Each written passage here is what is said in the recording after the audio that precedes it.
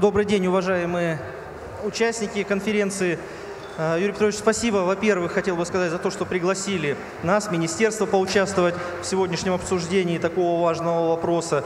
Вы уже привели несколько цифр, которые, как мы назвали, являются критическими плане зависимости наших компаний, сельхозпроизводителей по машиностроению от зарубежных производителей.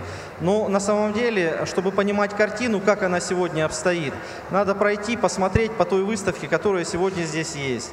Вы, уважаемые присутствующие, наверное, увидели, что здесь присутствует более 20 компаний, наших только, алтайских компаний, которые представили широкую линейку почвообрабатывающих, комплексов. Вы увидели э, оборудование, которое представлено компанией Сисор.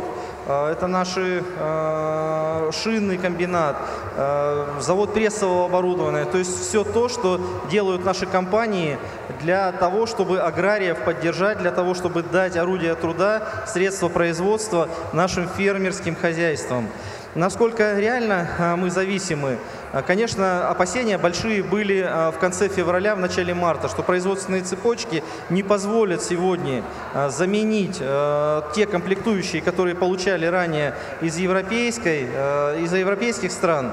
А, и мы встанем, производить не будем.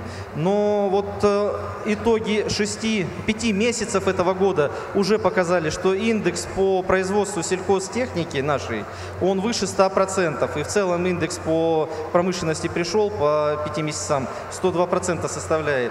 Поэтому это говорит о том, и вы увидели сегодня, еще раз скажу, что в принципе компании наши нашли замену тому, что мы раньше получали с европейской части. Это страны Азии, во-первых. Во-вторых, кто-то начал уже самостоятельно комплектующие производить.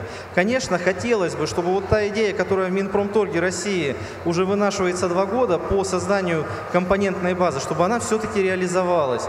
И мы Минпрому про это говорим, а, в принципе, слышат, и мы ждем, что программа такая появится, когда через Фонд развития промышленности кредитуются предприятия на а, изготовление, на разработку и изготовление каких-то комплектующих для э, нашей отечественной продукции, допустим, гидроцилиндров, ну или подшипников, но это, наверное, в сегодняшних условиях по подшипникам невозможно.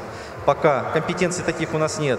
И а, потом этот кредит на льготных условиях, когда уже предприятие освоило выпуск продукции и в серию запустило, он бы прощался в какой-то части. Поэтому вот эта мера поддержки сегодня нужна, а в целом я бы хотел сказать, что предприятия справились, цепочки не разрушились, ни одно из предприятий сельхозмашиностроения у нас не встало, все работают и обеспечивают наше хозяйство необходимой техникой. О чем свидетельствует сегодняшняя выставка и Э, действительно, такое количество алтайских компаний, это, в общем, наверное, рекорд, в том числе и этой выставки. И нам действительно есть сегодня чем э, гордиться.